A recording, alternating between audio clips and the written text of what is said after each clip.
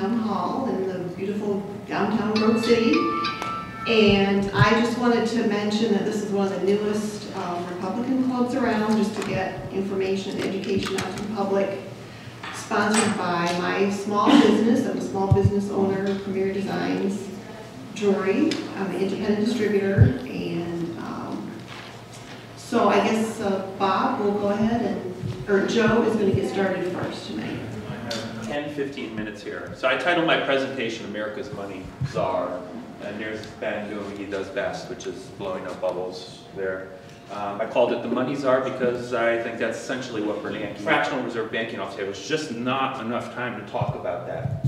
But my basic premise is that with banking, privately created competitive banks, I got no problem with. What I've got a problem with is with a government created monopoly bank. That opens the door for abuse in our economy. Number two, when it comes to money, I think that money should be backed by something physical. And when money is backed by nothing, when it's just paper backed by nothing, and you can print it at will, that opens the door for abuse. And my basic premise is going to be that a government monopoly bank plus money backed by nothing is what gives us economic instability, skyrocketing debt and government growth, and currency debasement, or what I'm also going to call the inflation tax. Okay, so what is the Fed? Why, why did the Fed, why does the Fed say they exist? If you go to their website, they say, we exist to create stable prices, a stable economy, and low unemployment. How to, take a quick survey. Who thinks they're doing a good job at those, those, their, their mission there? Anybody? Must be a few people. Okay? Bob does. That's good. Okay. So, you know, that sounds great. I like all those things. Let's take a look at the actual numbers. Stable prices, that's the CPI since the beginning of our country. Do you notice anything? The first hundred years, stability. We got the creation of the Federal Reserve here, but what happens here around 1970, beginning 1970? What happened? We went completely off the gold standard there. So now you got a monopoly bank plus money backed by nothing, and what did they do? They had the ability to print, nothing restraining them, and that is what you see has happened to prices in our economy since that time. Number two, economic stability. I heard Bob say last presentation that before the Fed, everything was horrible, people were starving, and women had to, you know, sell their children just to survive. I don't know. And uh, then the Fed came along, the economy was great. Well, these three economists, this is a paper published this December, actually looked at the numbers. These economists from the University of Georgia. And I've got the whole paper with me. It's a very long paper with a lot of data using the best data available. And the abstract says, drawing on a wide range of empirical research, we find that the Fed's full history has been characterized by more rather than fewer symptoms of monetary and economic stability. Honest try, those are the facts. Okay, these are economists who actually looked at the facts. Okay, well what does Bubble Boy have to say about when we were on the gold standard before the Fed? Bubble Boy himself, Mr. Bernanke, is quoted, there's the link to the Federal Reserve website, the gold standard appeared to be highly successful from about 1870 to the beginning of World hmm. War I. During the so-called classical gold standard period, international trade and capital flows expanded.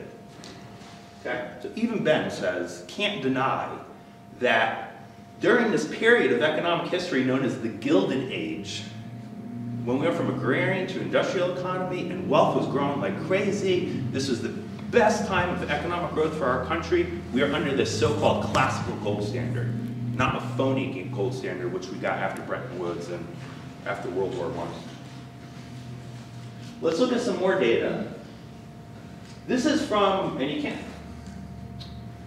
this book, A History of Money and Banking in the United States by Murray Rothbard is the best book I've seen. It'll blow your mind about the history of money and banking in the United States. And what we saw during this age is that capital investment increased tremendously in the 1880s, and here's a quote from the book. the massive 500% decade on decade increase has never since been even closely rivaled. It stands in particular contrast to the virtual stagnation witnessed um, in the 1970s. So the point is, we were on this classical gold standard. Money was backed by gold, and we have yet to rival this period of growth and, and stability in our nation's history.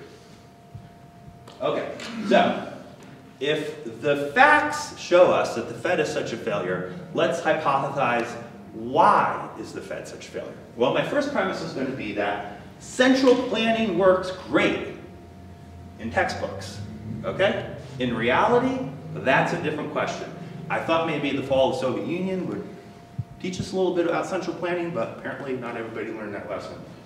This is an economist, Benjamin Anderson, a great economist, edited many economic journals, and if Bob talks about what he did last time, this, this formula MV equals PQ, which is quantitative theory of money, um, these are some of quotes from this, this economist.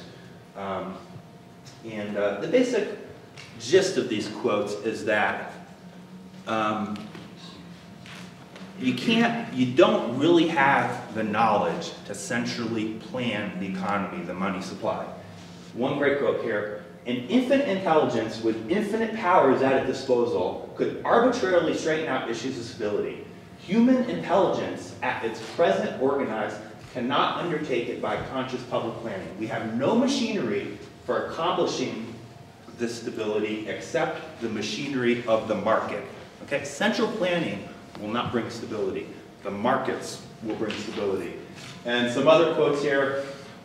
Um, under the price system, the mechanism for bringing about balance is to be found not in public planning by social governments, but in price fluctuations in the free market. So the Fed is always trying to manipulate this, this P, the price, where they aggregate all the prices in the economy under this one variable, and they say, oh, this has got to be stable. And velocity of circulation, a meaningless abstract number, which is the non-essential byproduct of a highly heterogeneous lot of activities in that, some of which one way and some of which work another way, affecting prices.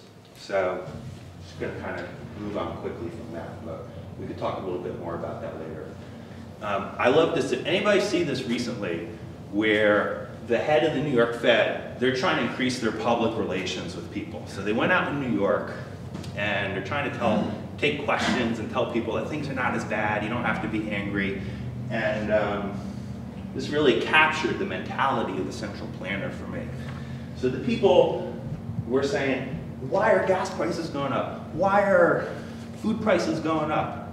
We give you all this power to create stable prices in the economy. Healthcare, education, everything's going up. I'm getting squeezed. Mr. Dudley, former Goldman Sachs chief economist, now head of the New York Fed, we tend to see a revolving door there between Goldman Sachs and the Fed, but that's another story, um, said, well, you got to understand that, see, an iPad got twice as powerful in the same amount of time that the price of food went up. So you put it all together in the P equation, price, and everything's fine. And this prompted guffaws and widespread murmuring from the audience, with some people yelling, I can't eat an iPad okay? If you're a, an older person on a fixed income, you care that an iPad got twice as expensive? This is the mentality of the central planners. Okay. Why is another reason the Fed is a failure? Central planning, number one. Number two, they create the boom-bust cycle in the economy. And the great economist Frederick Hayek, the champion of capitalism, won the Nobel Prize for explaining this theory of how the Fed creates the boom-bust cycle, okay? And I've tried, I talk 45 minutes on this one thing sometimes, but try to do it in one minute here. The basic idea is that the Fed sets interest rates too low, too much credit is in the economy, it creates bubbles, misallocation of resources, eventually the markets need to correct themselves and they crash, okay? That's the markets trying to correct themselves from the, the, the bubble that the, the, the government Fed created, okay? Um, and uh, another great quote from Hayek here, um, which I think every central planner needs to read. I think this is from The Fatal Conceit.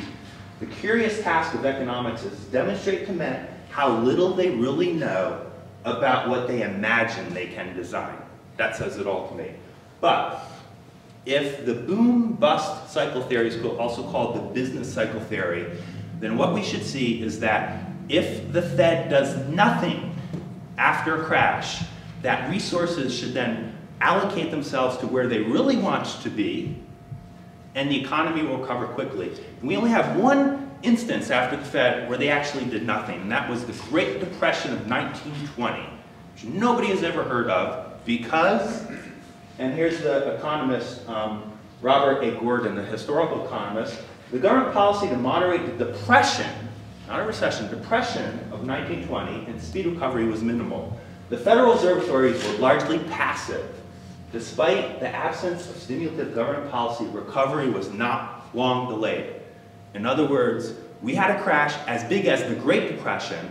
The government and the Fed did nothing, and in 18 months, our economy was back on its feet. Contrast that to the responses in the Great Depression and what we're doing now, which is preventing the missile, which is preventing the resources to allocate to where they want to be after the bubble was created, and we just have malaise. Okay, so Fed is such a failure. Why do we even have it? I'm going to hypothesize two reasons, and there's probably more. Number one, the government then um, created the Fed and the Federal Reserve Act, and the government benefits from the Federal Reserve's purchase of its debt. Number two, the banks and the government benefit from something called the inflation tax. Okay. Bill Gross, the biggest bond investor in America, the head of the largest bond fund, has this to say recently. 70% of the government debt issuances since QE2, which shouldn't be called quantitative easing 2, it should be called money printing round 2, okay, let's get it right, has been purchased by the Fed. Seven, Fed is now buying 70% of all the debt that the government is issuing. And Bill, goes, Bill Gross of the PIMCO Bond Fund goes on to say, have you ever seen a Ponzi scheme so brazen? And he even goes on to say that, you know, Bernanke, and there, there's Bernie right there, the head of the Ponzi scheme, there's Ben again, doing what he loves to do, blowing up bubbles. Um, and uh, basically, Bill Gross says that Fed has taken this Ponzi scheme to another level where um, the Fed has joined the party itself rather than orchestrating the game from on high. Um, it has jumped into the pond with the other swimmers. There is no need, as with Charles Ponzi, to find an ever-increasing amount of future gullibles. They will just, the Fed will just write the check themselves now. Okay?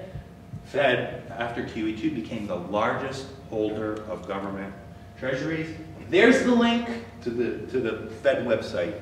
Okay? But it's even worse than this. They surpassed China, the Fed and the China, and uh, China. So basically, the, the, the, solvency of our government now rests in the hands of Helicopter Ben and uh, uh, President Hu. Okay? I, it, makes me feel warm and fuzzy. But, uh, oh, this doesn't even count 700 billion printed to buy all the, the, the debt of Fannie and Freddie and all the other things going on too. So this is, this is a very conservative, but the red is the Federal Reserve, then we got China, then we got Japan, um, etc. Joe, you have five minutes left. Okay. The inflation tax, been used since uh, the, uh, by, by emperors and kings uh, for years. Um, what they do is they debase the currency. The people who get the currency first spend it before prices go up. So they spend it while it's, it's worth more. As it circulates in the economy down to us, we have to spend it with the prices higher. Sorry, can't talk more about this right now, but those are clip coins. That's how they used to debase currency. Now they just go on a computer, type a few zeros, and you know all this money is in the economy. They don't even have to get their hands dirty clipping things. Uh, oh, Skywalker 8 on eBay selling a quarter for $8. Well, that's when they still had silver in them. Your quarter is now worth $8 debasement, currency debasement. So in conclusion, I got some statistics on how prices are going up faster than real income. I won't go into a lot of detail. Doesn't matter your nominal wage, you can make a million dollars a year. If an apple costs a million dollars, who cares? Prices are going up faster than incomes. Your real wages are going down with the money printing. And my conclusion, uh, I got the Constitution here, but Mike will probably talk about that. You've got five minutes, so. Oh, um, what did the Constitution, what did the Constitution say? Um, Bob hates this when, when the Constitution comes up, but, uh, it said, uh, Article one, section eight, that the, the government was to coin money and regulate the value, and that no state shall make anything but gold and silver in, in section ten, anything but gold and silver tender for payments, okay? But Bob will say, uh, well, that could be interpreted as they were allowed to print money. But all they need to do, do is look at the Coinage Act of 1792, a few years later, when they actually fulfilled their constitutional responsibilities and they defined, they coined money, they regulated the value, said one dollar is 371 grains of silver. That's it. And then they minted it, and they made sure that it wasn't debased. How? What was the punishment? If you debased the currency. How far we've come? All right, here's my conclusion. The choice is clear, at least for me. On the one hand, we could choose the Communist Manifesto, which calls for a central bank, or we choose the U.S. Constitution.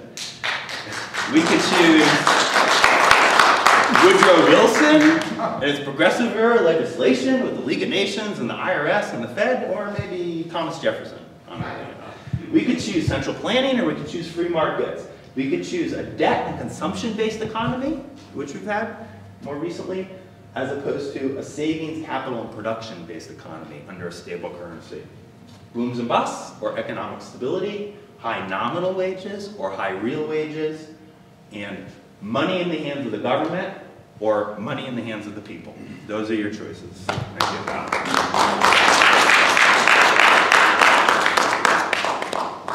Thank you, Joe. Bob, you're next. Now I get the hard part, defend the Federal Reserve. Um, and typically I anger a lot of my own friends. Just remember, you know, we agree 80% of the time, we're, we're not enemies. But what I'm gonna do is I'm gonna give you a, a um, my background's in economics. Um, Masters of Economics, um, and I've been working as a portfolio manager, or some people call me a hedge fund manager, or what was it, a vampire guarding a blood bank. Okay? Um, but my, I have a professional experience with economics and finance. And a lot of the things that I heard being said just simply don't jive with my, you know, what I understand is reality with the free markets. Um, so, say so. So what I do is, uh, one of my favorite parables in the Bible is the house built on stone, right? And if we're going to take this, because I'm a conservative, we're all conservatives, but if we're going to take this as one of our main um, agendas, we got to make sure it's going to withstand scrutiny. And so what I'm going to do is I'm going to apply a lot of scrutiny to these things that you're being told. And I'm going to show you how to objectively look at these claims and to test them because Joe just rattled off a lot of things. And we're going to take a look at them. If you take a look, do they really hold any water when you take a look at the market? And I'm not looking at the central planning. The only central planning I look at is the central planning done by the free markets. Because a bond rate is a market rate. A price is a market price. The government doesn't go out there and set prices, the market sets them. So I use the market, the free market, as my guide to decide who's right or who's wrong. We got a lot of theories, but the market will tell you everything you need when, When you talk about economic policy or mon monetary policy, you have to understand this, this, this, this formula. Everything is based on MV equals PQ. I don't care what economic economist is out there saying this or that. If it doesn't apply to this, it doesn't apply. When Jim's talking about, you know, the central planners, the price is the market price. It's a market basket of goods. You know, you can't live in a world where, okay, I have my price level gets worked in here, or your price level gets worked in here, or so-and-so price level. The markets have to have go with an aggregate number. That's what they do. You know, so we can sit there and argue, well, I have a different inflation rate than you do. So what? To have an aggregate value, you have to go with an aggregate, aggregate uh, market value. And typically, you just simply look at the bond rates, and the bond rates will tell you what the inflation rate is. The markets figure out what inflation is. You don't need a central planner to do it. So MV equals PQ. M is the money supply, V is the velocity, P is the price level, and Q is the real output. You can turn all of our economy into that simple formula. And if people are going to talk about monetary policy and they don't refer to this, they really don't understand what's going on. Because this is how everything's measured. This is how the entire world works. All right? Typically when you deal with this, you deal with velocity being constant. You know, you give, you produce a dollar, it gets turned over, let's say, four times in a year. Okay? The other thing is in the short run, the quantity remains the same. Okay? Okay? So, when people are saying if you print money, you're going to get inflation, right? That is 100% true if, in fact, you could put an economy in a bottle, fix the velocity, fix the quantity. If you produce more money, you will get higher prices. That's a fact. That's just simply how it works. The problem is, that's a textbook. Okay? That's a theory. This is not how the real world works. In the real world, your velocity changes and your quantity changes. Right? So when these people tell you if you print money you're going to get inflation, they're right with everything else held equal in these theories. Okay? So what Ben Bernanke does is he's not some evil genius there trying to rip people off and produce inflation. What he's doing is he's going to sit there and you want to have stable prices. So you have, so in order to have stable prices, given the fact that you have a constant velocity, you want to have the money supply grow at the same rate of your economy. If that happens, that's utopia. Because you get stable growth, stable prices. And yes, you're printing money to get that accomplished. Okay? That's how it all works. Okay, now, um, here's a picture of ben, uh, Barack Obama riding a bicycle. And you're going, why in the world do you have a picture of Barack Obama riding a bicycle? What I want you to think about is the analogy of when you're riding a bicycle, right, and that gear jumps. So you're in the 20th gear, and it jumps down to the 10th gear. What happens? You got two choices, right? You can either slow down dramatically, right? If you keep pedaling the same speed, or you can start pedaling like mad to pick up the speed, right? But you won't go any faster, you'll just maintain what you're doing, right? So remember that analogy of jumping gears, all right? And remember that formula, mv equals pq. Okay? Well, here's velocity, right? Velocity took a jump down. The money supply was greatly cut, um, the, the, the amount of time the money was being spent was greatly cut. Right? So your velocity in that formula, mv equals pq, jumped a gear, it dropped down. Right? So, you have your velocity dropping. Okay? If your velocity dropping and the Fed doesn't do anything, your price is going to fall and your quantity is going to fall. That's a recession. Right?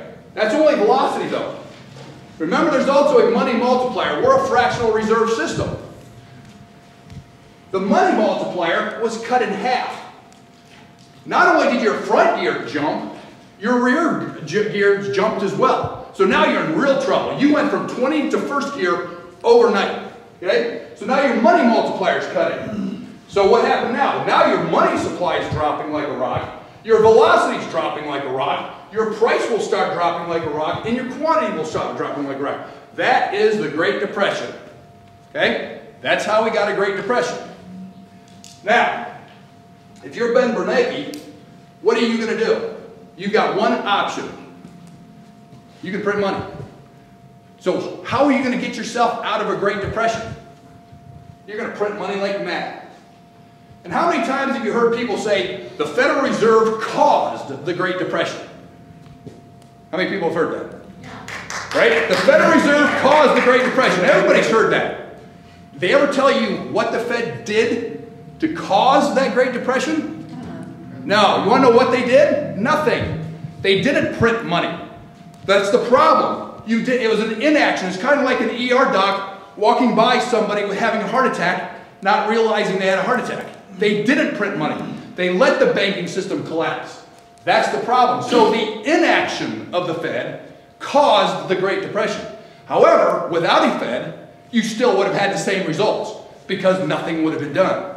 Today, when we have this big crash that we just did, what they do? They printed money like mad so we wouldn't go into Great Depression. And what did we do? We crucified the Fed. So we crucify the Fed for causing it for not acting back in 29, and now we're crucifying them again in 2008 for doing what they should have done back in 29. That's the most important take-home message. We don't want to repeat the Great Depressions, and, and destroying the Fed would create another depressionary scenario because the Fed needs to act in those scenarios. Here's the other one. This is the one that gets me.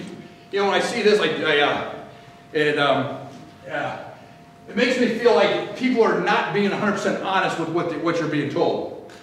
This is a chart you always see about the Federal Reserve printing money. Everybody seen this chart before?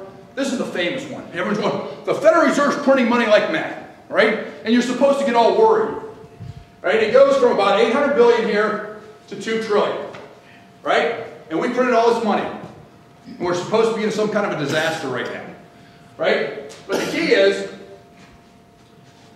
this is monetary base, okay? Nobody ever tells you the difference between monetary base and money supply, all right? And also, Joe just said at QE2, they're printing money, they're buying up all the debt. This is QE2 about right here. The money supply hasn't increased. The monetary base hasn't increased after QE2. And I hope someone asks, asks me later on, why isn't the money base, monetary base uh, increasing after QE2? Because we keep we're being told that they're buying 80, 90% of the debt, but it's not showing up in the monetary base. But you can see here, they did actually print some money, a lot of money, right? But this is monetary base, okay? Now, they also, you know, and say, you're printing all this money is bad. Well, this is back in about, whoops, this is back in 2008, okay? Um, it's about 600, okay? Well, somebody's got like a time or something here.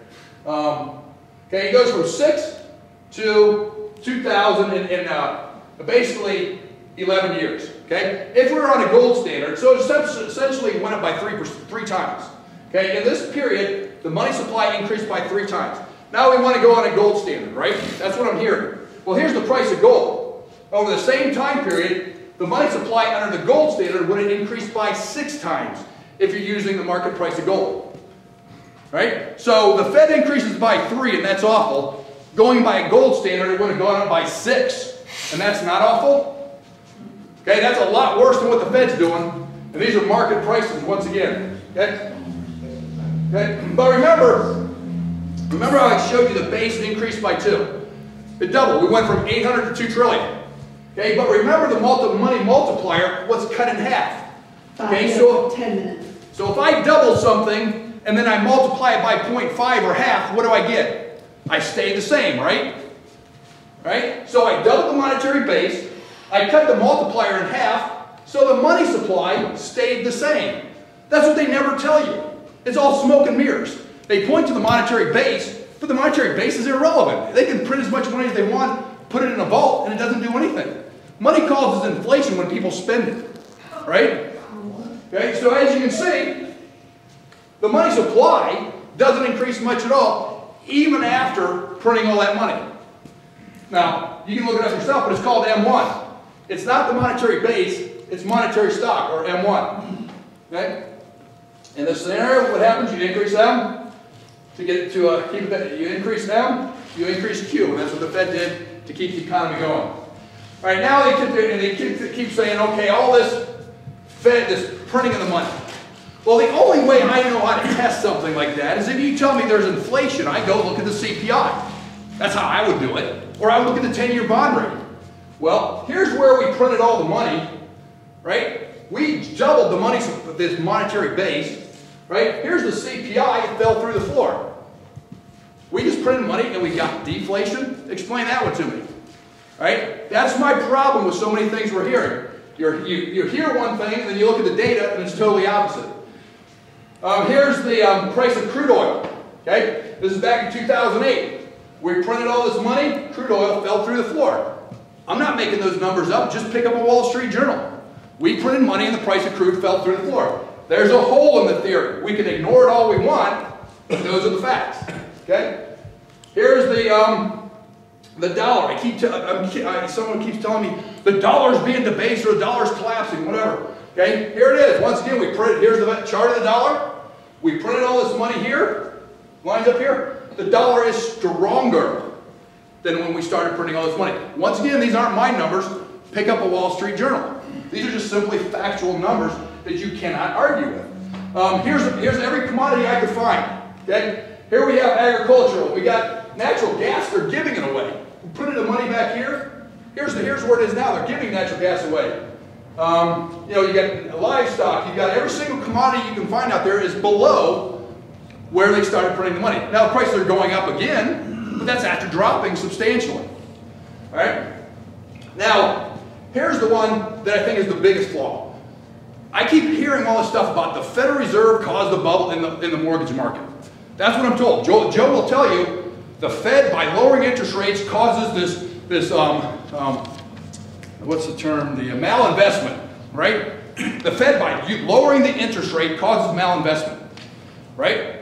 That implies that the Fed controls interest rates. Well, once again, when someone says something like that to me, I don't just take them at their word, I go and look at the market rates. Well, here's the Q, here's the Jackson Hole speech about QE2.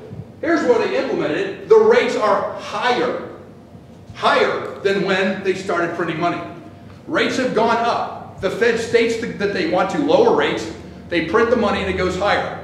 The Fed does not control long-term rates. The Fed does not control your mortgage. The, the Fed does not control your malinvestments. The markets do, right? The other thing is, the entire theory that they have is a is based on a flaw. This is this malinvestment idea. The Fed uh, creates what's called a, a, price floor, right? The only thing a, a, the Federal Reserve can do is choke off growth. Okay, it can stop it. It can't stimulate more of it because once it lowers to a certain rate, the market rates take over. It's kind of like if they passed a law uh, for McDonald's that they can't charge uh, less than a uh, two cents for a cheeseburger.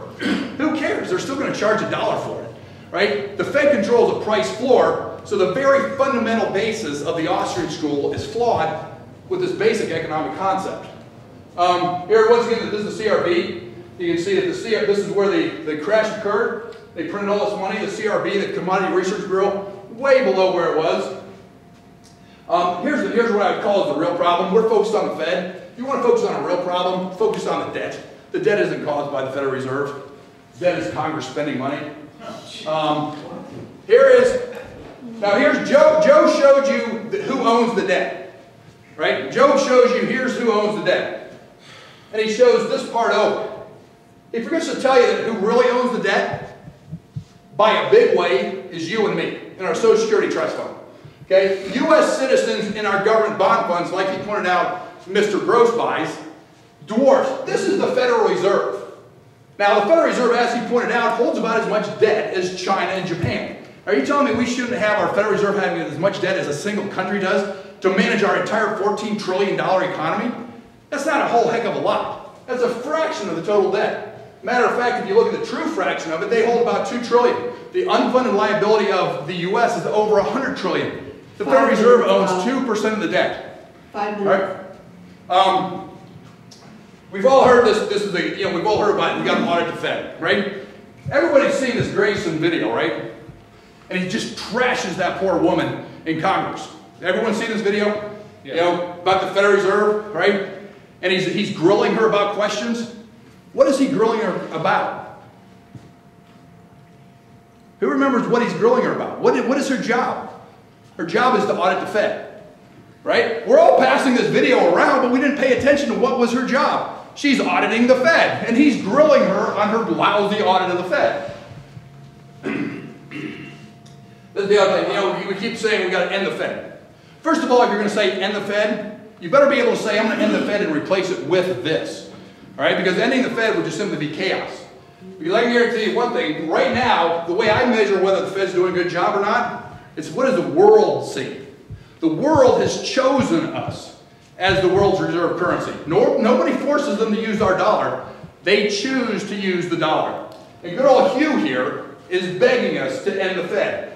Because the moment we end the Fed, you want to know what becomes the world's reserve currency? The yuan, the renminbi. Okay? Right now, we're given a gift. It's the reserve currency. We keep playing around with the Fed and we lose that, then you're going to see some real costs go up. And this idea about inflation benefiting the government, the government holds uh, bonds. They issue bonds. As the inflation rate goes higher, it costs the government more, not less. They're paying higher interest rates. I mean, it doesn't even make any sense. Um, the other thing is that the Fed is a, you know, I hear these things about the Fed is a privately owned bank. Said Here is, here is the federal, uh, the Fed pays Treasury record $78 billion. The people who own the Federal Reserve are us, right? When they make a profit, it goes back to the Treasury. That's just the way it's set up. Um, you know, we talked about TARP. The other thing about TARP is, you know, there's a big headline says there's going to be a $700 billion bailout. That's right, it was going to cost us $700 billion. Did anyone follow this up? I went on Dirk's show two years ago and said, don't listen to any of that nonsense. We're going to make money on this deal. Right? We're not bailing anybody out. The Fed doesn't bail people out. They make loans. And lo and behold, gas board, the government is making money on TARP. It's not going to cost us 700 trillion. We're going to end up making. There are some legitimate parts about it, like government motors. There's a lot of bad things they did with TARP, but it's not the part that the Federal Reserve did. Um, you know, Joe's pointing at higher food, food prices. I challenge you to grab any article on higher food prices. You know what they're going to tell you? Drought and increase in demand is causing higher food prices. The Fed doesn't cause drought. The Fed doesn't cause growth in, in China and India. Okay, no matter what you do, you're going to have inflation in the agriculture businesses because you got more people buying food and you got a drought shrinking the supply. But once again, don't take my word for it. You'll never read an article that says Federal Reserve driving up food prices. Fed doesn't buy food. Okay, same thing with um, oil. Why is oil going higher? Just because we're bombing the, you know what, out of the Middle East. We're scaring the heck out of the markets, right? That has nothing to do with the Federal Reserve. They don't control OPEC. They don't control what's going on in Libya. Those prices are going to go higher whether we like them or not. It's not due to the monetary policies. Um, you know, Joe will tell you deflation is a good thing. Uh, deflation is awful. Ask any farmer if deflation is good, right? Beginning of the beginning of the harvest season, they go out and they buy seed for $100. They go out and they plant it. End of the season, they get to sell it for 50 bucks, $50. Is that good? No, you're bankrupt, right? But you'll be told that deflation is a good deal. Um, you know, when we're talking about the, uh, the idea of a gold standard, this is how you measure a gold standard. Under a gold standard, your monetary uh, supply is fixed. Joe points out the golden era of the, the, the, gold standard. Well, it had to do a little bit with the 1949 gold rush and the discovery of gold in South Africa. Okay, but once that gold runs out, your economy runs out, right? Because you have to keep this money supply growing to keep your economy growing. Okay, if you take a look, under a gold standard, if you, take, you want, if you want to see what the real people who really lived under a gold standard, just do a Google search, William Jennings Bryan cross of gold, right? Go look at what William Jennings Bryan said. He was all upset about the gold standard because it killed all the farmers. And why? Because at the beginning of the season, when things are in short supply, because you can't print any more money, the price goes higher, right? And the, and the, and the quantity goes lower because there's less to buy. So this is the beginning of the season. You're, you're buying high. At the end of the season, what happens? You dump your corn on the market, the price shoots to the roof, the price of your corn falls to the floor, your farmers are bankrupt. You want to wrap up? Yeah. Um, so this is your gold standard. It kills the agricultural industry. Um, they'll tell you the Fed causes bubble. Here's the tulip bubble. It was back in 1637, way before the Fed. Um, the first banking crisis was way back in 1833. The Fed doesn't cause these things. Um, you know, here's the, the this is a catch-22. Once again, we blame the Fed for the Great Depression for not acting. Now when they do act, we damn them again. Once again, we put them in a catch-22. And the last thing is this, this claim about the dollar losing value of 95% of its value. How many people have heard that? Right? The dollar's lost 95%. I challenge anyone to take that claim to a finance professor and ask him about that. And he's going to say that's ridiculous. At best, it is a, it is a half-truth. What really bothers me is this seems to be like a foundation of the Austrian School of Economics. Right? The only way that even holds comes close to being true is if I earned a dollar back in 1913, put it in a jar, buried it, and got it and opened it 100 years later. In reality, you put that coin, you put that dollar in a bank that earns interest. And so in reality, real quick, I went and did the numbers, okay? Since 1913, a dollar would have to grow to $18 to compensate for the um, uh, inflation. If you just simply put it in T-bills starting in 1930, you would have easily covered 18. In reality, if you would have taken that $1 in 1913, put it in the bank, it'd probably worth be about $200 today.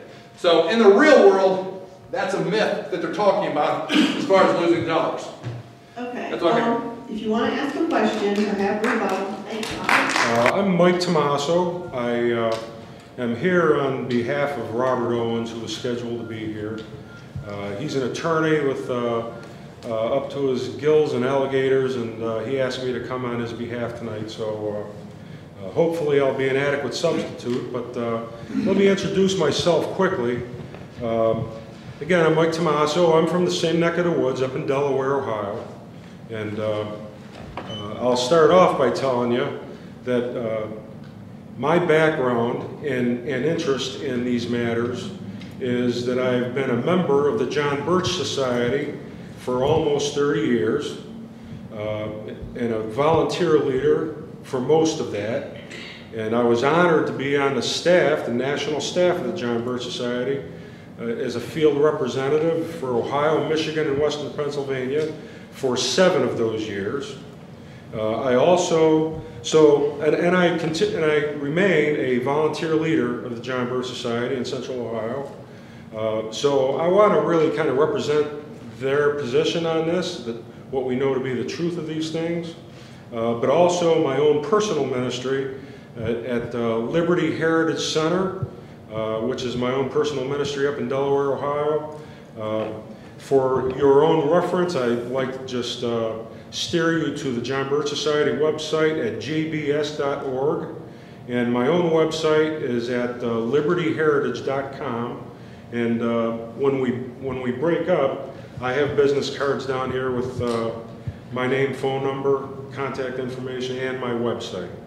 Um, now, uh, the first it sounds like I'm, I'm going off here, but it, it's important for me to uh, uh, really kind of step back and give you a bigger picture and establish the foundations uh, and define terms. Uh, it's like the Hatfields and McCoys have been fighting for 100 years and nobody even knows what it's about anymore. All I know is he did that and you did this and, you know, and the foundations and the principles are long gone. We don't even know what it's about anymore, okay? I want to step back and go to the fundamentals, to the foundations, okay? Um, and the first fo- fundamental foundation is that there is a rule book in all these things, okay? And it was the rule book of our founding fathers who established our Constitution, a limited government of a morally self-government, faithful, morally self-governing free people, okay? Uh, and that was a strictly limited constitutional government, the principles of which come from this rule book, okay?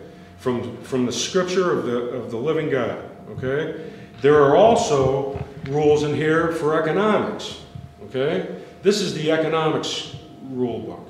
It's the morals rule book, it's the social rule book. So we can go a lot of places in this discussion. The Federal Reserve and economic matters we're going to come down to, okay? But I need to just start that there is a rule book that defines these things. If it's only human philosophy, okay, then don't tell me what problem you have with this school or that school. Because if it works for me, then your philosophy is no better than anybody else's, okay? There is a bedrock foundation. We speak of building our house. If you, if you build it on the weak and shifting sand of human philosophy, you might build a great house, but great will be its fall. Okay? When you build it on a solid rock of the living God, that's the house that will stand. Okay? So, uh, so one important uh, issue of all of this is one essential issue that is missing from this discussion, and that is that there's such a thing as right and wrong. There's such a thing as good and evil. That's right. Okay? There's good and there's evil. And so, this is the rule book of the living God, the Creator God, and this, by His providential hand, is the document that our founding fathers established for the governance of a free people. Okay? A strictly limited government of a free people. So, let's talk about uh, the hard money. Let's start with hard money uh, that the whole world understood before, well before the foundation of the American Republic, long before 1870. Okay? As a matter of fact, uh, if you refer to money in Scripture, anywhere in Scripture, it always translates gold and silver. Okay? If you look at every civilization of history, the cradles of civilization of the Americas, the subcontinent, East Asia, Mediterranean basin, before Marco Polo, before the Vikings, before Christopher Columbus, these cradles before they were known to each other, it was always gold and silver. Why is why gold and silver? Okay? Why gold and silver? And some will argue, well, you know, because it's valuable and it's malleable and it's divisible and it has intrinsic value and so on, and these are all true, but if you look at the periodic table of the elements, that can be said of a lot of things. Why gold and silver? Well, my own assertion to you is that we cannot explain that in human terms. Human beings have instinctively understood that throughout civilizations of man, okay? Whether they know why or not. But gold and silver has been the basis of every civilized economy since the, bef before the written history of man, well into the 20th century. So what happened in the 20th century? Well, let's talk about that. Because if there's a good and an evil, okay, that means that there's a God who presides over the destinies of nations, as Patrick Henry put it. And then, and I'm going to make a case that when we fail to be morally self-governing, okay, when we fail uh, to act as free people, we will have the tyranny we demand. And that sovereign God will allow corruption to come in. And so that's the spiritual fight before us. This is not a temporal fight. It's not a fight of fluff and Hatfields and McCoys. It's a spiritual warfare we're into. Okay? So if there's a good, providential God who gives us the rule book, there's also evil. Okay? So what happened there?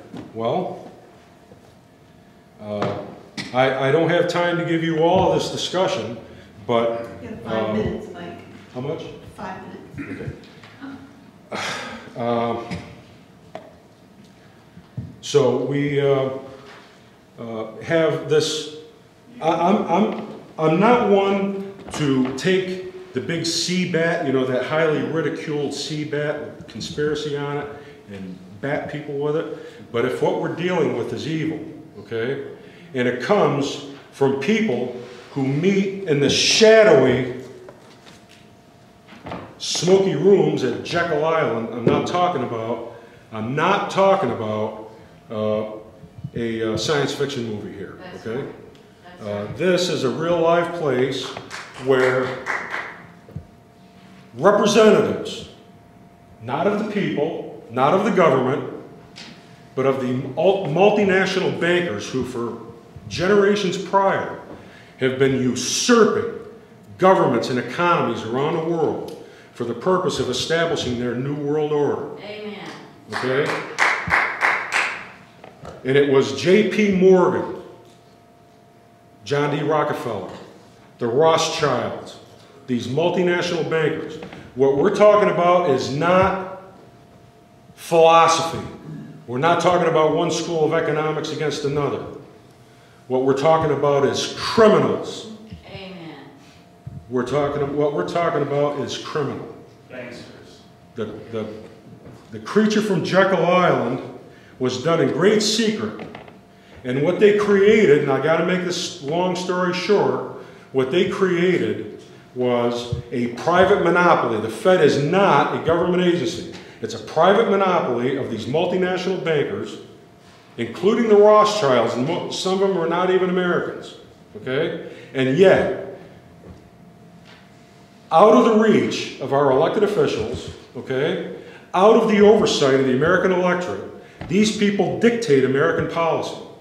And if this is a criminal, if this is somebody uh, evil whose purpose is to usurp the place of the living God, okay, what does he have to do? Let's go back to why gold and silver. I'm going to tell you why gold and silver. Because gold and silver is no more, no less. I don't want to overstate it or understate it, but I'm going to make the assertion in the case that gold and silver is God's provision for an incorruptible standard among corruptible men. You don't need anybody to manage that. In God we trust. Everybody else pays gold and silver. And if it's not gold and silver, it's not money. That's right. Okay? So what else does the criminal do? The only thing that keeps the criminal credible and in power is deception and lie. Because his father, the devil, is a liar and the father of lies. And it's built on the house of lies. And in the lie that Federal Reserve toilet paper, S&H green stamps, okay, has any value is only based on the lie that nothing is worth something. That deception is the only thing that keeps that bubble floating. Okay? Now I'm going to shift gears real fast.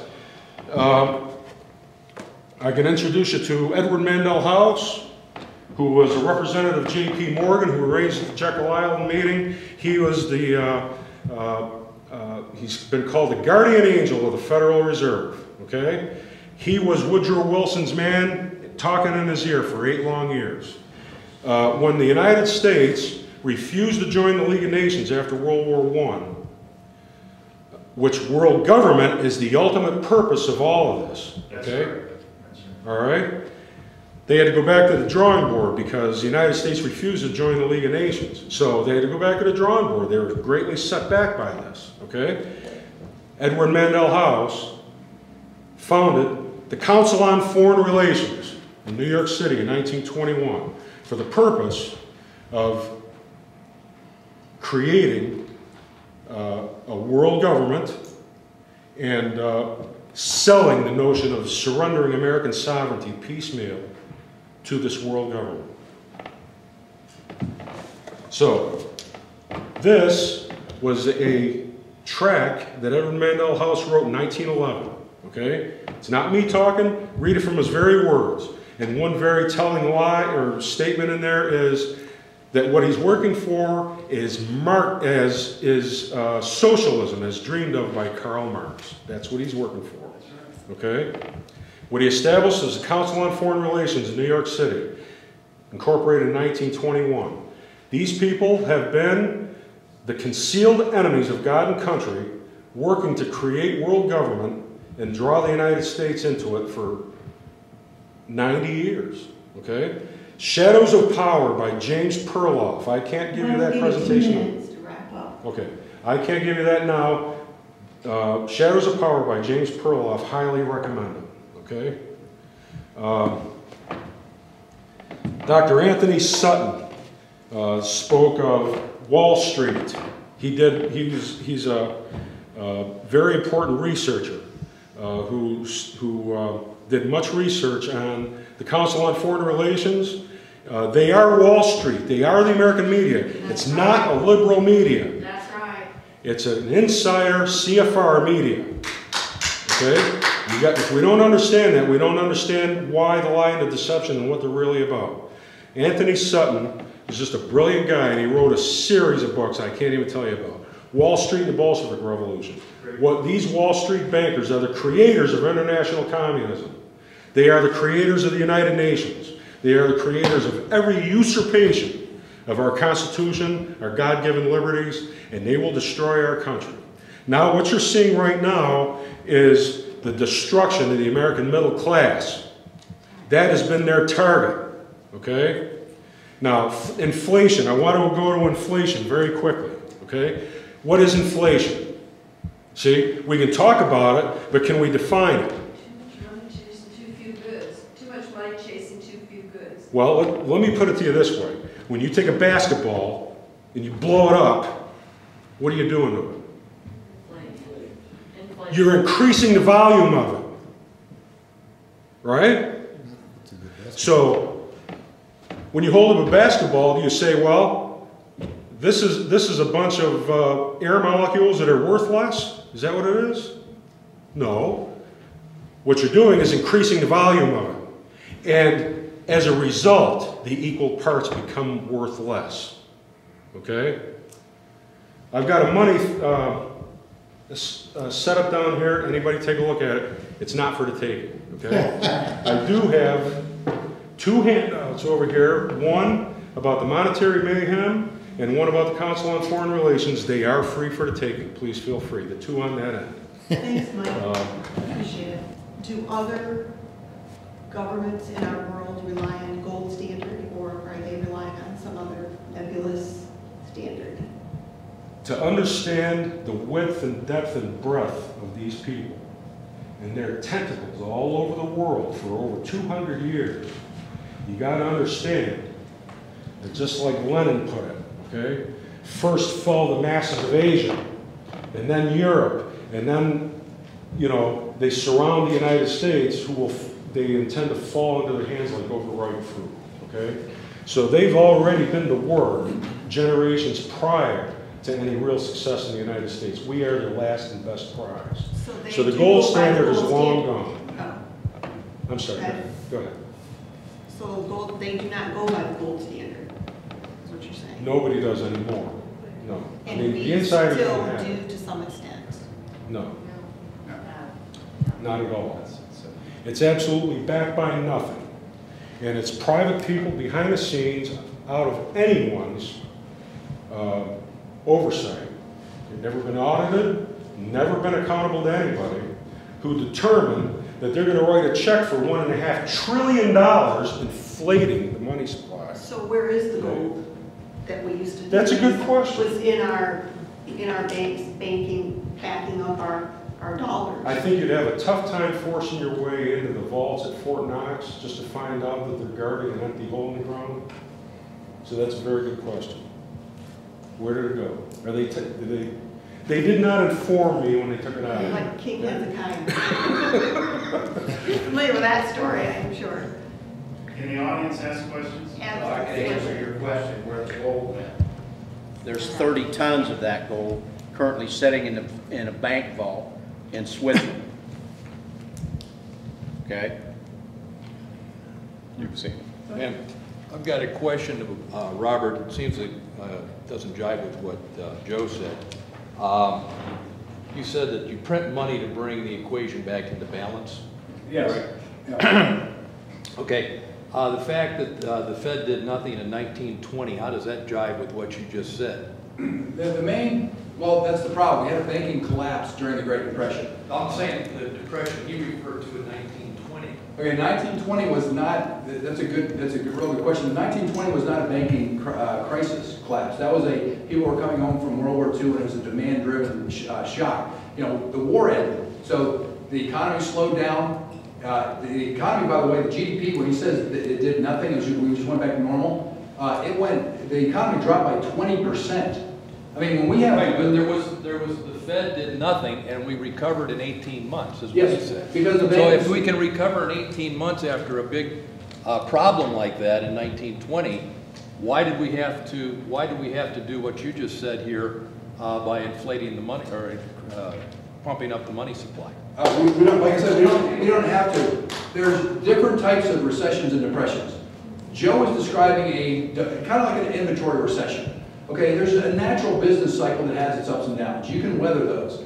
The economy cannot weather a banking collapse. The way I describe the monetary system is the monetary system is like the operating system of a computer. You know, we can sit there and we can allow GM to go bankrupt. We can allow Enron to go bankrupt. We can allow all these little private companies to go bankrupt. If you let the banking system collapse, it kills the entire economy. It prevents the farmers from getting loans. It prevents the automakers from getting loans. It, it prevents the consumer from getting loans. It shuts everything down. So it's literally like a computer crashing. Or the, the banking system is like the heart of an individual. Once you lose the heart, you lose everything. You got to remember, money isn't consumed. You don't buy money and eat it. You know, you, money does nothing more than train. It's like the grease of an engine. So if you let that grease go out of an engine, the engine seizes up. So in his situation, there's just simply a normal demand-driven uh, slowdown. Getting back to your question then about uh, the interest rates went higher because, uh, you know, we said we printed all this money and yet interest rates went higher. That's what you said. No, uh, QE2, when they came out, they said QE2, the stated purpose of QE2 was to lower interest rates. They wanted to drive the 10-year bond lower. That was the stated objective. The Fed said, we are going to lower interest rates. The market said, no, you're not, and they sent them higher. The point with that is, people are telling you that the Fed caused the mortgage crisis. The Fed does not control the market rates of the long end of the curve. Higher, wouldn't that mean that borrowers are saying, we want more of these dollars for, uh, as interest because uh, you're paying us back with dollars that are worth less?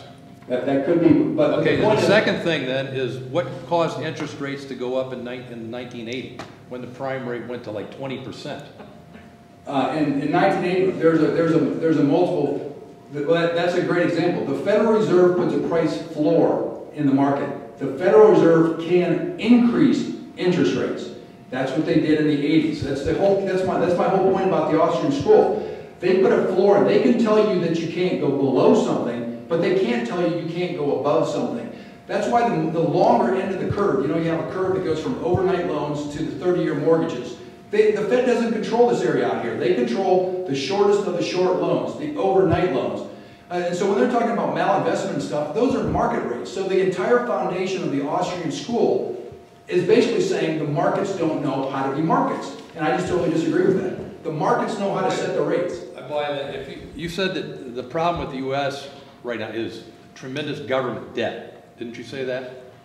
Okay, if that's the problem, why would you want to have an institution that in, that enables the government to borrow even more? The Fed does not do that. Huh? The Fed, the Fed is, before this crisis, the Fed owned $800 billion. That's a fraction of the debt. You Okay, remember, well, if they couldn't own any, would we have as much U.S. debt? Sure. I mean, the Chinese, the Chinese buy as much debt as the Fed. You and your Social Security Trust Fund, you know, we, we funded the war with, with uh, uh, war bonds. The, you got to remember, the Treasury raises money by either raising ta taxes or issuing bonds. They can get the money any way they want. They don't rely on the Fed. The Fed just simply has that money there so that they can manage the monetary system. Okay, One final question. I agree with you that if you tried to abolish the Fed overnight, you know, chaos. And we've created this juggernaut, which perhaps it's kind of like the machine that just goes on and on and it perhaps cannot be unassembled. However, would you agree with, uh, uh, you know, the, we have all kinds of markets uh, that create standards. And we have, we've created standards in computers, we've created standards in video recording and so on. Why wouldn't the market create its own standards for money based on the money which proved to function as a commonly accepted medium of exchange and one which obstructed government's propensity to meddle with the currency system? Okay, well, first of all, we do have competing currencies. Uh, you can go buy yen if you want, you can go buy gold if you want, you can buy those things. The important thing is that when the world looked for a currency, they chose the dollar. The entire world, when it looked for a competing currency, it chose our dollar. Now, there's ways that, you know, I'm not, I mean, I can list multiple ways to improve the Fed. Um, you know, when we're talking about, the, the reason the gold standard worked is because during the time period of work, the gold supply grew at the rate of the, econ- rate of the economy. We kept discovering new gold. There's nothing stopping, you know, the Congress from passing a bill that says, look, a computer should run the Fed. It should increase the money supply at this rate, you know, and adjust for so-and-so. So there's ways to improve the Fed. Um, but my point is that, you know, people are criticizing the Fed from 1930 on, 1913 till today. During that time period, we became the greatest economy this world has ever known. I mean, we are the world's economic superpower. We are a $14 trillion economy. No country even comes close to us, and we're only 300 We're a million debtor people. nation, we do not have money. Okay, we're broke. Next. Okay, oh, there's a gentleman in the back that has, has hand up for a long time. Sir? Yeah, my Thank name you. is Fred Bender, and I'm with the John Birch Society. And I would like to know how in the heck you can say what you're saying up there. The Fed counterfeits money. It makes it up out of thin air. Is that allowed in this state? Does your granddaughter, can do, can she do that? And the Fed has been controlled by the Council of Foreign Relations from 1929 up, and even before that, clear up to Greenspan, by the Council on Foreign Relations. And I would like to have Mike Timossa, uh, Joe, and you guys talk about this. Tell me more about what this Fed is about, and it's, if I can't counterfeit money, then the Federal Reserve can. Our Constitution would not allow that. Hey, Mike? If I may, and that- that's really where I was kind of trying to go with this. uh, um, When we talk about inflation and such, gold and silver, you can't create it, you can't destroy it, you can't manipulate it. It has a constant, you don't have to have more of it, except maybe only in proportion to population, you know, and throughout history as, as populations have grown, so has the supply, and it's remained relatively constant and very stable, okay? And I think that that gentleman's question has maybe a lot to do with not necessarily inflation, but our debt. Uh, No, No, he's talking about printing money, and I want to, that's where I'm going. Wagner says, inflate, inflate, inflate. Paul mentioned uh, how the practice of clipping coins, where a coin that was weighed so much gold, so much silver, you could clip it and nobody would notice it, and you pass it on. After a while, you got a pile of gold there, okay? And you're actually devaluing that thing doing there. Criminals throughout history have schemed such things as that. You know, alchemists of history have tried to create gold, and they can't do it, okay? I mean, they can't do it. I mean, they can't get around the system. The liar and the usurper, okay, has thrown out this God-provided standard. They threw out a God-provided standard. I don't know any other way of putting that. To a standard that they control. They can create, they can destroy as they please. And therefore, if they want to write a check, and, and Joe mentioned the inflation tax, and I want to talk about that, because if they don't have the revenues to cover the debt that they can never, ever have enough money for, these people can never have enough money for this debt, okay?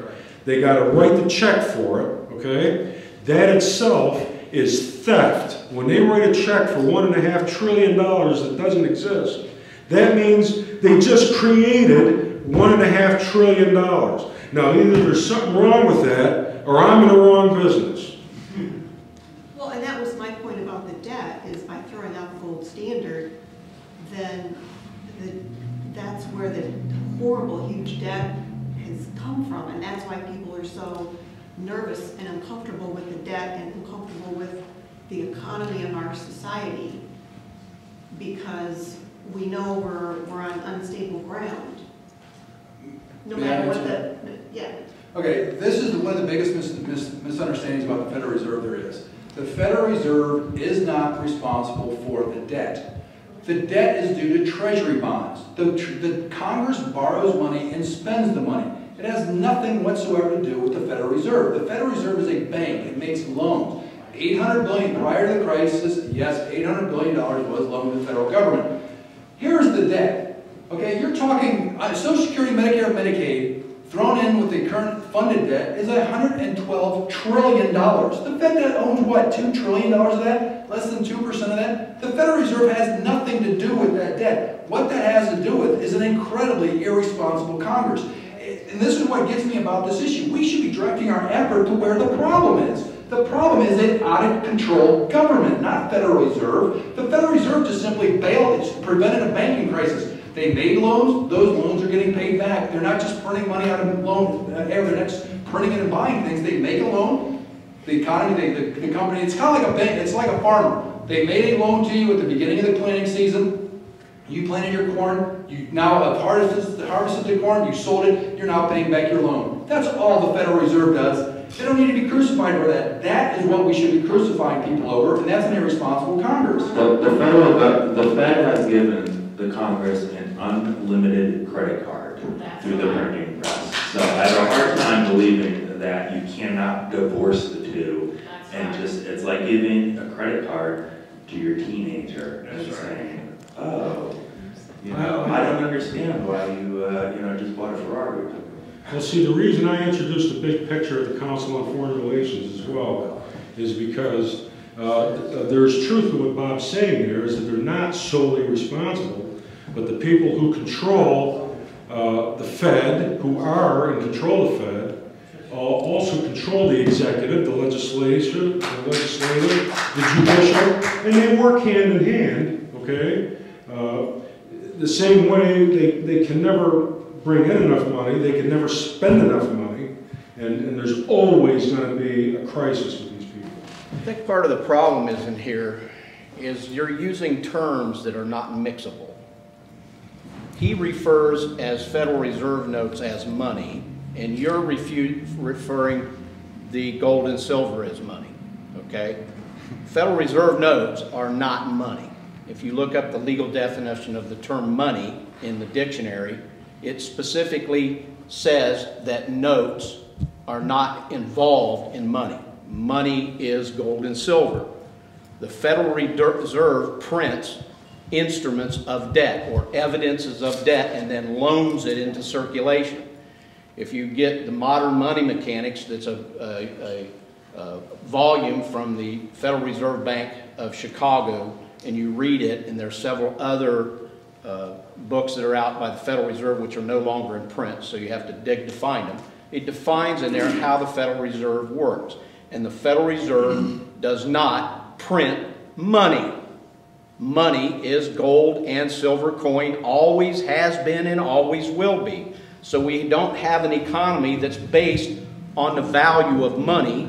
We have an economy that's based on the value of debt that's loaned into circulation by the Federal Reserve, and there is a debt that's created by that. It's trillions of dollars that we owe the Federal Reserve because we've never paid for the interest on the loan of the debt into the circulation. Okay? So you have to look at the terms that are being utilized and passed around and commingled in here until you understand that Federal Reserve notes aren't money, never have been and never will be, and that fe- and silver and gold coin are money, and you can't mix the two. They're like water and oil, okay? Until you understand that, put that in your brain, you can't understand what's going on here. You said you hoped somebody would ask you a question about the monetary base and why it's not the same Yeah. as M1 or M4. Well, I kind of, I kind of covered that. When they're talking about printing money, there's a monetary base, which is the actual physical dollars.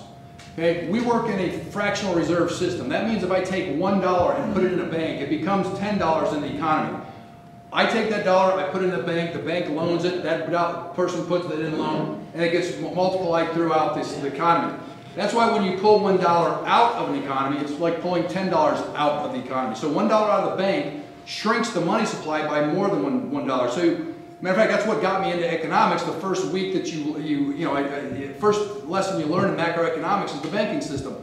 And that's what got me turned on to economics was I could see in the Great Depression those people panicking, pulling that dollar out, not realizing that they're pulling $10 out of the economy, and they were, that panic created its own mess. And that's why I have this con this is why we're having this presentation, is because I don't want our economy to repeat that mistake. I don't want to weaken the banking system so we have to go through another banking system.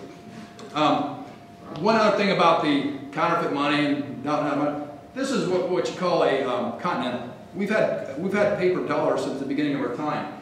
Um, Article 1, Section 8 gives the power to Congress to coin money and regulate the value thereof. So people, when people are saying, you know, that, that things are so stable under a gold standard, it's because the government got to stamp a value on gold. If they wanted to print money, they would revalue that gold. Every problem you're identifying with the fractional reserve system the Federal Reserve, you have with the gold standard and a lot more. Um, as far as the central bank history, you know, they're saying that the central bank's unconstitutional. Well, the first central bank was created under Washington. It existed through Adams and Jefferson. It was stopped. The charter ran out under Madison. the guy who wrote the Constitution, and you want to know what he did? He turned around and created the second central bank. So if it's unconstitutional, if it's counterfeit, our founding fathers didn't know that. A couple of comments. First of all, what you're calling the monetary base is what I, I think it's the same as what used to be ter- termed high-powered money in the, Currency and circulation. It's the actual physical dollars and currencies. yeah, and the other thing is, uh, It, it is high-powered money because it gets multiplied once it gets in the banking I mean, if, the Federal Reserve is just a central bank, isn't it? Yeah, it's a bank. So what I'm concerned about is, uh, you know, this idea of associating uh, the Federal Reserve with all kinds of mysterious and evil people. uh, Well, how come nobody's saying that about the first, second, and third central bank in the, in the 19th century? If you go back and you read about the, the creation of the first central bank, you will see what the criticisms were back then was foreign central bankers were going to buy it and own it. Unfortunately, foreign central bankers did partially own it. But we were a a young nation and we needed reserves. However, the important thing is control of the monetary policy. The foreign central bankers were prevented from it. Now, if you go to today, you know, we hear a lot about um, the creature from Jekyll Island. Okay? The creature from Jekyll Island, when they created the, the, the bank in 1913, if you read the creature from Jekyll Island, you'll hear all these stories about foreign central bankers and, and um, uh, JP Morgan and things like that. They wrote a bill at Creature from Jekyll Island. The problem no one ever tells you, that bill never passed. Every one of the concerns that you'll hear about central bankers and things never made it in the final bill. It's called the Aldrich Plan. Look it up. The Aldrich Plan never passed.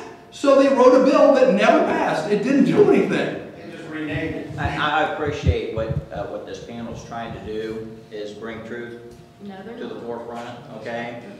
And, uh, and, uh, I, I really agree with your position, Mike. I, I, I- I believe that position wholeheartedly, and Joe, I really like your presentation, I'd like to have a copy of it. Uh, Bob, uh, in, in your presentation, the, the problem with it is there's a lot of half-truths there. You're not, you're not bringing forth all of the information where a person can understand fully what the problems are. You mentioned that the Fed is uh, owned by the people of America. It is not. It's owned outright by private banks who are all involved with the, with the 12 uh, federal districts. They own the Federal Reserve. The only part of the Federal Reserve that uh, uh, is controlled at all by uh, our government is the uh, Board of Governors and the uh, other board that's in there. They regulate and work together with the Federal Reserve, but the Federal Reserve is owned privately. If you, take a look on the meetup that I sent out, okay, one of the very first links describes what he just explained. Okay, now this is the problem. The, there, yes, private banks do quote unquote own the Federal Reserve. But it's not ownership like you own a private corporation. It's like the Social Security Trust Fund. It's basically an accounting entry. The, the member banks, in order to be part of the Federal Reserve, you basically own shares in the Federal Let's say, Reserve. let's call it preferred stock. It's exactly preferred stock. Now, what that means is you don't have any voting control. It just simply means you're going to be paid a fixed dividend, essentially to compensate you for the reserves that you hold on account at the bank. It's nothing like ownership of a private corporation. The, the, Fed, the, the, the president nominates the people, and he's absolutely right. You've got a board of governors that are nominated by the government to represent the people.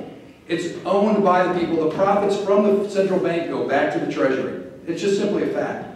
MV versus PQ equation, I don't have any problems with that, except your analysis of it doesn't really go into the reaction, uh, reactionary analysis as far as, uh, you know, cause and effect. And, uh,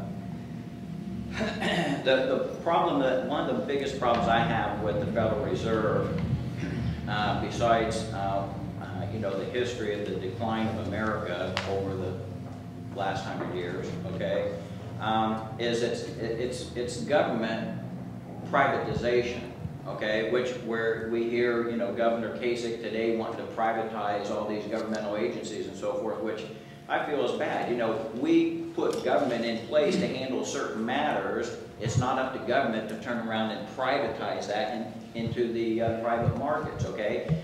Uh, government has the authority to control our monetary system.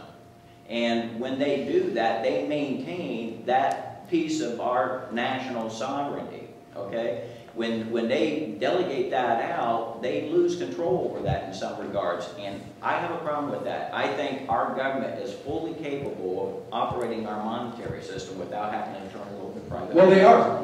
Our, our government does control the monetary system. Our, our, the, uh, the Federal Reserve Act of 1913 was a creation of Congress. The Congress nominates the people, the President of Congress nominate, they totally control it. They wrote the charter of the Federal Reserve. They tell the Federal Reserve how to implement their monetary policy. Um, everything the Federal Reserve does has been, we can pass laws to tell the, the Federal Reserve to do anything that, you know, if they, if you want to have a computer replacement, they can. We, we've given them a dual mandate by Congress for low employment and low inflation. We wrote that as we the people. We, you know, if you ever watch the news, you'll see Ben Bernanke testifies in front of Congress so they measure, how are you doing? We the people control the Federal Reserve. Uh, He made a comment that, you know, the Federal Reserve gets audited. The amount of auditing that goes on with the Federal Reserve is very minimal. Um, uh, When Ron Paul introduced a bill to audit the Fed, he wanted to do a more in-depth audit to be able to track where uh, those monies are transferred through the Fed as opposed to just looking at its balance. I'm very glad you asked that question. Very glad. Okay, because this gets at the root of everything. The worst thing you could ever do is politicize a Fed Reserve. Okay, you never want the Congress to be able to say, print me money because I need to go spend it to do this event. We can all agree. If you want to see a politicized Federal Reserve, look at Zimbabwe. Now, getting back to Fed, Ron Paul. What Ron Paul wants to do, we audit the Fed, we audit their books. Be very careful and listen to what Ron Paul wants to audit. He wants to audit the monetary policy decision making. That's politicization of the Fed. That means Barney Frank can go in there and lean on Ben Bernanke and say, Ben, you should have been given more money here. Right now, our Federal Reserve acts like a republic. It has a little constitution. It has a constitution that, that has low employment and low inflation, and they have certain variables that they have to track to make sure that they maintain that. The moment you get that out of there, and you say, okay, from now on, we're going to let the Congress control it. Now, we've had a bank controlled by Congress. It's called Fannie and Freddie. And we know how that turned out, because once you politicize the banking system, which is what they did with Fannie and Freddie, you can see the absolute nightmares. These people start controlling the money supply. That's dangerous. You know, I'm all about the Constitution. I think the biggest problems that we have today is a direct result of government not adhering to the Constitution for the past hundred years. Um, the only other comment I have in regards to the monetary system, I mean, to me, a fractional reserve banking system is absolutely ludicrous. You shouldn't be able to issue receipts for money that don't exist. Right. Okay? I'm glad you asked that question as well. What's the alternative to a fractional reserve system? a, a sound system based on substance that is, that is limited, that allows the, the, the economy to balance itself based on the supply of money available. The Bank of Amsterdam operated as a one hundred percent reserve bank. So according to Bob, it's impossible to have, a- it's impossible to have a hundred percent reserve bank, but it's happened throughout history and they've been quite successful, so you do not need fractional. No, Right now, we're a zero reserve bank. Bob, the, uh, you, you mentioned the, uh, the CPI, and, and by that I interpret the official CPI. Well, the, the official CPI leaves out food and energy prices. I find that to be a very uh, uh, flawed premise right there. Um, You, you cited uh, several times the Wall Street Journal as, as an authority and, and- and suggested it, that it was, that it was like the Wall Street Journal. Uh, The Wall Street Journal has many, many agendas. It is not uh, neutral journalism. Uh, Very quickly on gold, I think one of the most cogent things I've ever read about gold was very recent. Uh, It's an article by Gary North. I'm sure that's a name that many people in here know. Uh, But the basic premise of uh, his article was that gold contrary to what many people say, has no intrinsic value. But his conclusion said, my hope in holding gold is that someday someone will purchase it from me uh, with something that I need more than the gold. Uh, good point. May I Uh, address the CPI, or if you, if you keep going these long lists, I can't, I I won't be able to remember everyone. Well, yeah, I, I, I mean, I'm, I'm actually leading up to questions here. Those were, those were just kind of preliminary comments. And by the way, as far as conspiracy theory is concerned, I'll put in my two cents worth on that too. Um, you know, there's a difference between believing in conspiracies, obviously we know they exist, and on the other uh, end, believing that they are, all-powerful, totally coordinated, run by competent people, and ultimately destined for success. Big difference between those two extremes. Uh, how do you, so to the question, how do you reconcile uh, the premise that the, your statement that the Fed should not be politicized with the idea, if you agree with this, that the Fed should be accountable? Uh, the Fed, well, the, the reason I, I'm a big Fed fan is because I work in this industry. And for the last, I mean, I've, I've worked through the, the boom of the 90s, and I've worked, worked through the bust of the 2000s, and every time things would happen, I would sit there and say, if I was Ben Bernanke, what would I do? And I just know every time something happened, Ben did exactly what I would have done, is all I can say. And when we're talking about the Wall Street Journal, I am talking about quoted market rates. These things. The market, it, it, we're, we're, you can pick up USA Today, you can pick up any newspaper you want. The market rates tell you what the entire collective mind of the market is doing. You can't corrupt, you can't have conspiracy theory to control the markets. This is the entire world buying our bonds, and they're telling you there's no inflation to fear. Now, I can sit there and I can listen to people tell me everything they want. I just simply look at the bond rates. The bond rates tell me there's no inflation to fear. And, and if I if I said something about conspiracy theories the carols, or whatever, I apologize. I didn't think I said anything about conspiracy theories. But, but, but again, getting back, getting back to the question was how do you, you know, again, the question, how do you reconcile the idea that the Fed should be non-politicized, in other words, above politics? Am I understanding you correctly?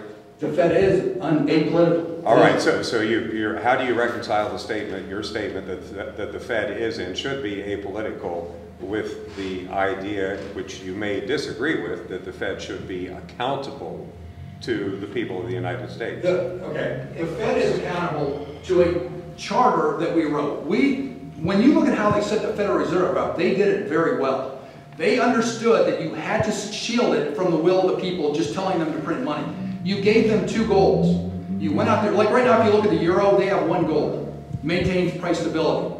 They don't have an unemployment uh, mandate. We wrote a bill that said, look, what's the purpose? What do we want the Federal Reserve to do? We want to maintain stable prices and low unemployment. That's what we said. We don't want it to be politicized. We get, it's like it's like their constitution. We wrote a constitution. We gave it to the people of the Fed and said, you guys run it. It's, it's an instruction manual.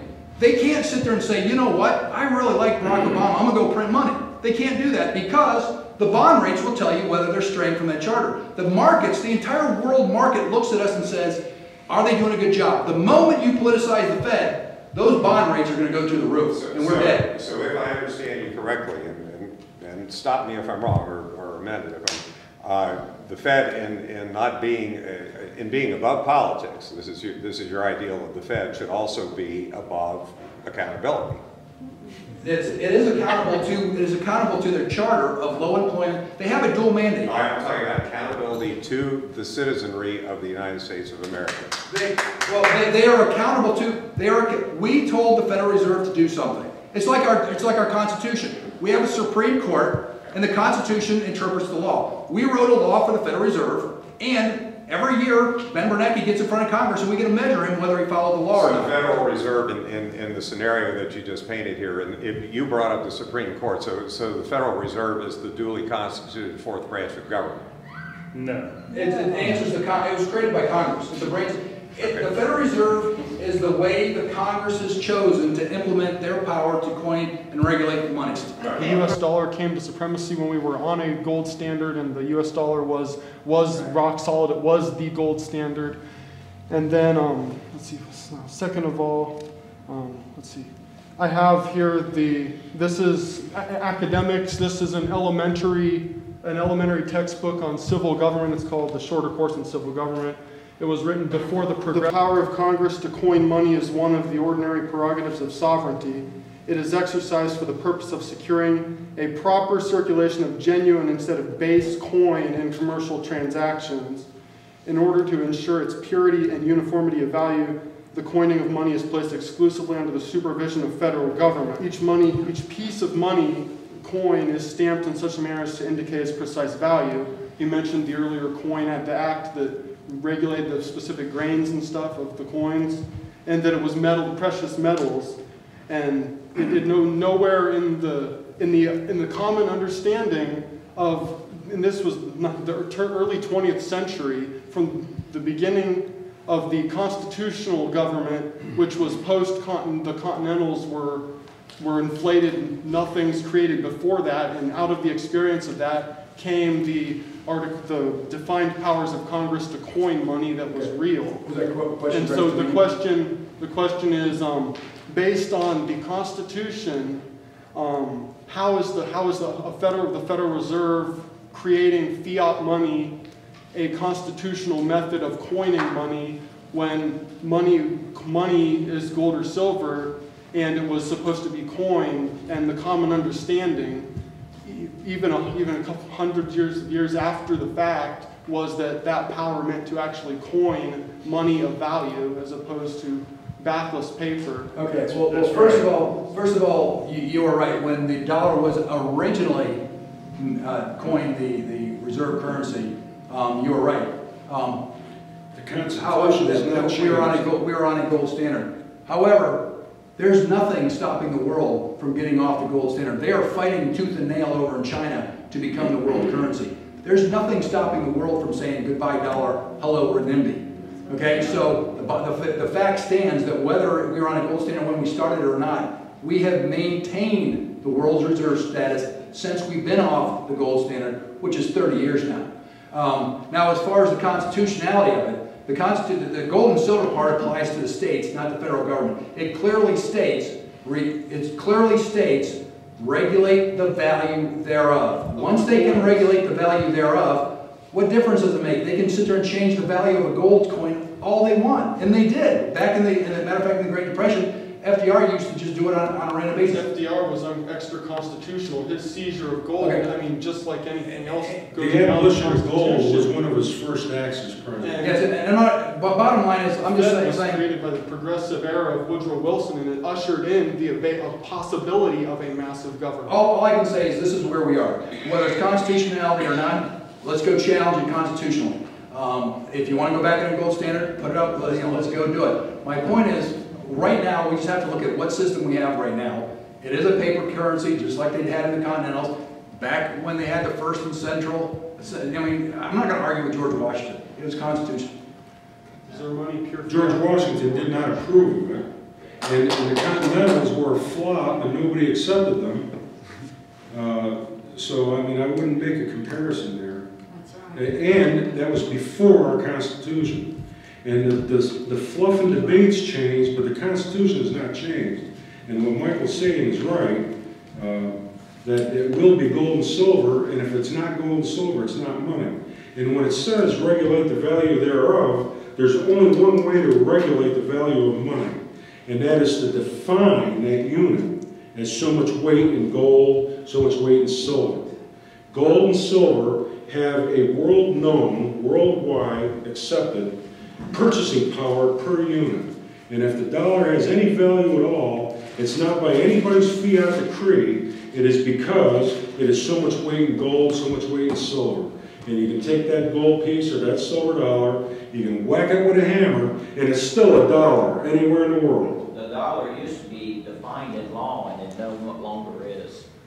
I'm sorry, sir? The dollar used to be defined by law, but it no longer is. The dollar is no longer defined in law. Right. Eh, But even if you have a gold standard, let's say we go to the gold standard, the government gets to choose what that gold's worth. I mean, here's No, a chart, here's no, a. no, they don't, they Then Well, who's- but they don't get who's- this- When they say coin money, who's gonna choose how it gets coined? The, pre- the prevailing purchasing power of gold and silver around the world is what it is. Nobody can decree that. Well- That's a supply and demand market. Well- The dollar rides on the back of gold and silver, not the other way around. This is, this is a very good point that people have to understand, okay? When you take a gold standard, you take an ounce of gold or whatever amount, and you're gonna stamp a value on it. That fixes it. It never moves again. That's why you have a, a, a nickel worth a nickel here, and hundred years later it's worth a nickel. The problem is, the price level swings all over the place to make sure that you can, you can buy different amounts of the dollar. This is the gold, this is the price of gold. It's gone from 200 to 1400 in a very short period of time. That's literally printing money if you don't stamp a value on it. If we were under a gold standard, that would be a flat line. So all these people buying gold, they'd have as much money today as they did back in the, you know, early eight, you know, 1980s. Your value of gold wouldn't change at all. Now, there's a Isn't that the objective though, is to have a stable monetary? That's what the Fed does, and that's why they have a price rule. They, they maintain a minimal amount of inflation. If I may, there's a factor here that needs to be discussed, and that is insider manipulations of the prices of gold and silver, okay?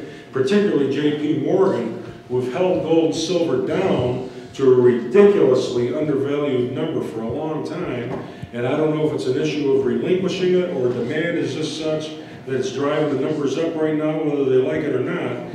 But gold and silver are grossly undervalued compared to these toilet paper dollars.